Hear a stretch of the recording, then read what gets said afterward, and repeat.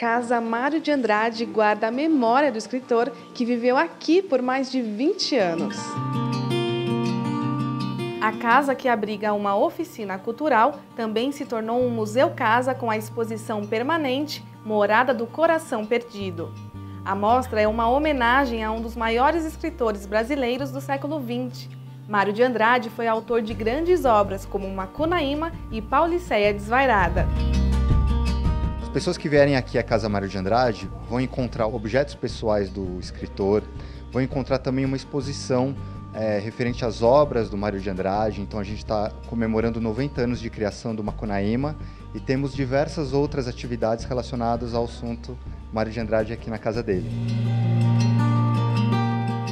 A exposição deu vida à casa e o visitante poderá conhecer mais os multitalentos do escritor, musicologista, historiador de arte, entre outros dons. Bom, a gente tem algumas coisas aqui que são bem interessantes. O piano, onde o Mário de Andrade deu aula para suas alunas, inclusive para o Neida Alvarenga. Temos o óculos, que pertenceu ao Mário de Andrade. As estantes, que foram inclusive desenhadas pelo próprio autor e vários outros objetos é, ilustrados em fotos, imagens que as pessoas encontrarão aqui na casa.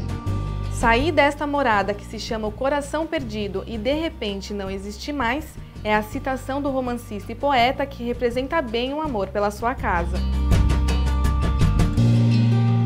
A Casa Amaro de Andrade fica na rua Lopes Chaves, número 546, na Barra Funda. Mais informações acesse o site oficinasculturais.org.br barra Mário de Andrade.